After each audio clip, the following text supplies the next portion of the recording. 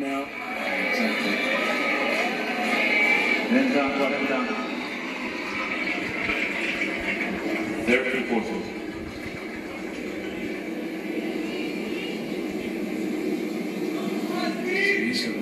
regroup pretty quickly.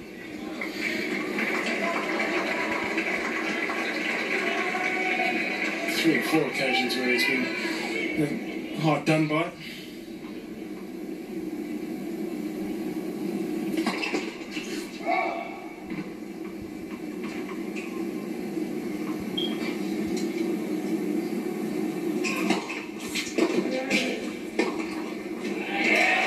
The trend continues.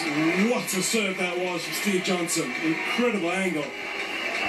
It seemed as very well to get across, but there's not much you can do with it. It's just so far out of position. Johnson and the easy put away.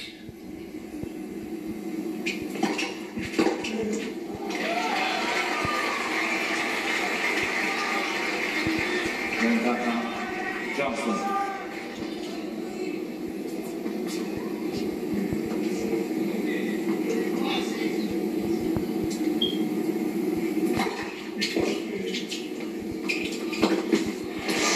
Well, we might have dragged that a little closer to the line than he intended, but the end result the same.